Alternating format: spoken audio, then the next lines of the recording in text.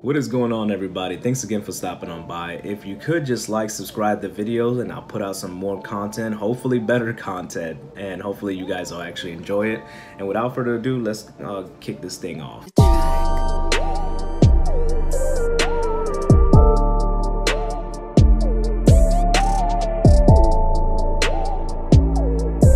What's going on everybody? So I wanted to make a video real quick, not just talking about a specific week or any material or anything, but more so addressing the newer people that are coming in. So yesterday during our stand-up meeting with my group, our PM asked us uh, a pretty good question. He asked us, okay, what kind of information or uh, advice would you give any newer students coming in? Now that we've been here for a while and we're almost uh, all the way through the full stack, uh, what would we tell them?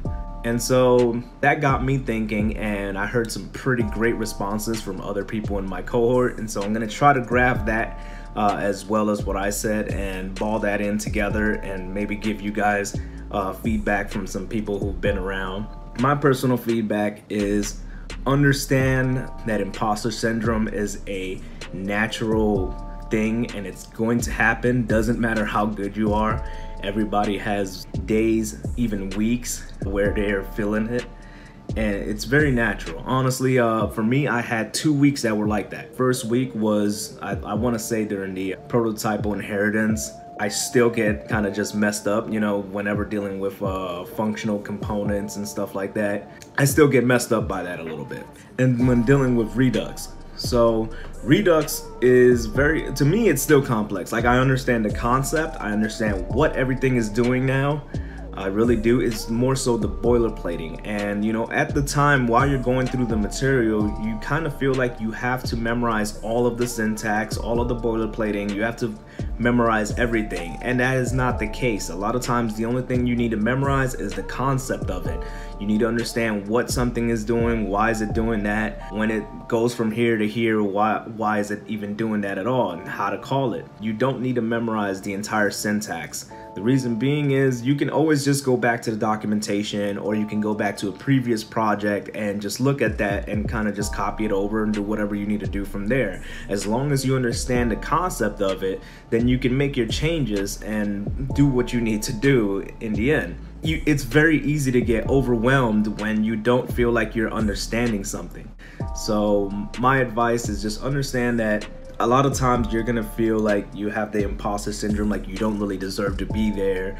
Your uh, work isn't good enough. Um, you're not getting the material, and I'd say just stick with it. You know, uh, just keep going. Don't blame the system. If you do have feedback, by all means, provide that feedback because a lot of times they are willing to, to listen to it and take that feedback. At the end of each course, uh, you'll usually have your instructor, they'll have some form of a live video, kind of like a last hurrah with, with the cohort before they send you off to the next instructor. And you know that's your chance to tell them openly hey this is what i thought. You know i, I wish you would have gone over this better or in more details or given us more time for this. And you know they'll take that go back to their uh, to their groups and their project managers and everything and go over all that and take your feedback. With that said you know understand that some weeks are meant to be rough no matter what you do, they're just meant to be rough. They're supposed to make you feel a little bit of pain.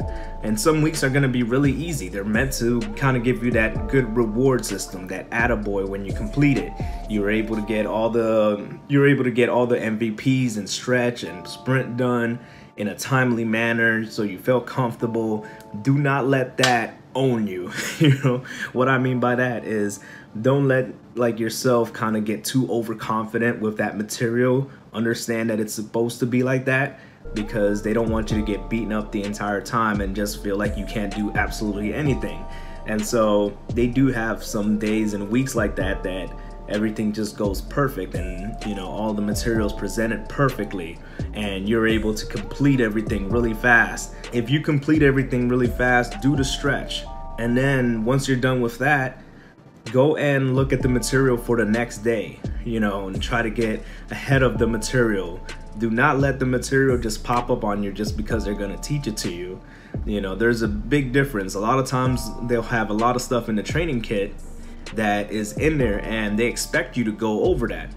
if you don't go over that, they're still gonna cover it, but they're kind of kind of fly right through it, and you may not understand it. A lot of people in in my uh, group said that the days where they felt like they were a lot more comfortable with the material that was being taught were the days that they decided to go through the training kit and actually uh, follow along, uh, do the miniature projects, uh, all of that stuff prior to the actual class. They're required, but they're not 100% required. Uh, they're not really strict about it, but it's highly recommended that you do that. And then uh, the other thing is make sure that you are involved in the Slack channel. Talk to other cohort mates, uh, talk to people in other groups, talk to people in your group. You know, try to build some type of cohesion because you are spending a lot of time pretty much in your chair watching lectures. And coding and stuff and it's a very very lonely lifestyle. Unless you have somebody that's revolving around behind you you're pretty much going to be here a lot of your time. I mean that's crazy schedule where you're sitting behind a computer screen the entire time with nobody to talk to. So uh, in order to get that filling out a little bit you know i suggest that you do uh, talk to other people in the Slack as much as possible, not just about code or helping or this and that, just general conversation because these are the people that you're going to be spending the next seven months to a year with, maybe even longer if you decide to become a PM or something. But these are the people that you're going to be spending a lot of time with. Uh, these are the people that are going to be uh, talking about new articles, new tech, uh, new things that you might be interested in, video games, movies. You know, they talk about a little bit, a little bit about everything. And so, uh, get to know them. You can also do private Zooms and stuff like that. I've done one earlier where we did a Zoom where uh, we talked about a side project that we wanted to do because we had extra time. And so, you know, we got into a nice little group and uh, talked it out, planned it out, and just took some time to do that and it was fun. It was a good experience. That's some other advice right there. Don't let yourself get overwhelmed.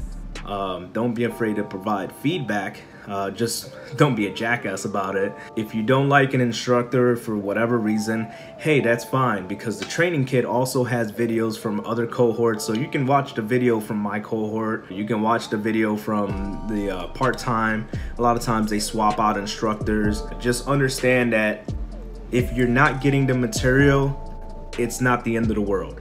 You can you can go through a lot of the training kit. You still also have Google. You have uh, Stack Overflow. You can ask a bunch of people, and a lot of people in, in Lambda are willing to help. If you're struggling with React, there's a React channel in the Slack. You can go in there and be like, hey, I'm not understanding this because blah, blah, blah, blah. Chances are you're gonna have somebody in there that might be able to answer your question. So don't feel completely lost before you've exhausted all avenues all right? Um and that's it guys. If you have any questions or anything that you uh, want me to cover that i did not cover feel free to let me know. I'm also on twitter. I don't know i don't know why but i never tell anybody that. But i'm also on twitter and i'll put my link down on uh, the description below so you guys want to follow me if, if, you want to and I'll follow you back. And I do tend to answer questions or whatever uh, down there. I like to interact with people so uh, feel free to follow me if you want. And I'll see you guys next time